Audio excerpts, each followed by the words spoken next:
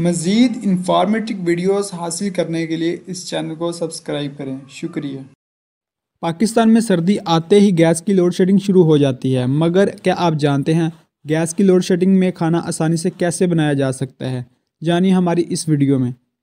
पाकिस्तानी कौम भी इस हवाले से एक मजबूर कौम है कि जब गर्मी होती है और इसको पंखे की ज़रूरत होती है तो लाइट की लोड शेडिंग शुरू हो जाती है, जिसकी वजह से वो गर्मी बर्दाश्त करने पर मजबूर हो जाते हैं। और इसी तरह जब सर्दी में इसको गर्म पानी, चाय और हीटर की ज़रूरत होती है तो उसका सामना गैस की लोड शेडिंग से करना पड़ता है। इन तमाम पहलुओं का सबसे अफसोसनाक पहलू ये है कि हमारा मुल्क ऐसे कुदरती वसाइल से माला माल है, जिनका इस्तेमाल करके हुकूमत आवाम को सर्दी, गर्मी के इन अजाबों से निकाल सकती है। मगर बदकिस्मती से इसके लिए जिस प्लानिंग की ज़रूरत है, वो करने के लिए कोई भी हुकूमत तैयार नहीं है।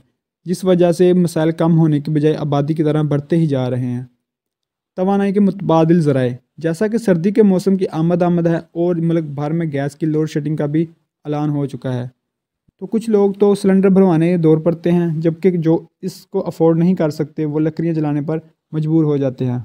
मगर ये तमाम चीज़ें हवा में आलूदगी के इजाफे का सबब बन रही हैं, जो कि मज़ीद ख़तरे का सबब है। इस वीडियो में हम आपको कुछ ऐसी प्रोडक्ट्स बताएँगे जिनको आप घर में इस्तेमाल करके गैस और इसकी लोड शेडिंग से जान छुड़ा सकते हैं। सोलर पैनल और बिजली दोनों की मदद से चलने वाले चूल्हे। इसकी जगह पर इंडक्शन कुकर कहलाने वाले अब ऐसे बिजली से चलने वाले चूल्हे आम हो रहे हैं, जो बिजली भी कम खर्च करते हैं। और एक इंतहाई सस्ता तरीक़ाकार भी है। इनकी मालियत पाकिस्तान में पाँच से छः हज़ार तक है और इन चूल्हों को बिजली के अलावा सोलर पैनल सिस्टम के साथ मुंसलिक करके भी इनका इस्तेमाल किया जा सकता है। जिस, जिसकी वजह इन चूल्हों का काम वाट या बिजली खर्च करना है। इनका सबसे बड़ा फ़ायदा ये होता है कि ये गैस के मुकाबले में आधे वक्त में खाना बना लेते हैं और सोलर एनर्जी के मदद से इस्तेमाल की सूरत में इनका बिजली का बिल भी अदा नहीं करना पड़ता। सोलर पैनल वाले चूल्हे।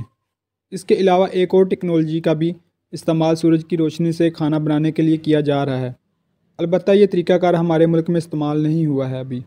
इसमें आईने को सूरज की रोशनी की शिद्दत को बढ़ाने के लिए इस्तेमाल किया जाता है। ये इंतहाई सस्ता और कारामद तरीका है, जो छोटे पैमाने पर बाकायदा सोलर पैनल के बगैर भी किया जा सकता है। दुनिया के बहुत सारे हिस्सों में इस तरीके से खाना बनाने का इस्तेमाल किया जा रहा है। ताहम ये टेक्नोलॉजी अभी तक पाकिस्तान में इस्तेमाल नहीं की गई, मगर उम्मीद है कि इन सर्दियों में बढ़ती हुई गैस की लोड शेडिंग के नतीजे में ये इस्तेमाल में लाई जा सकती है।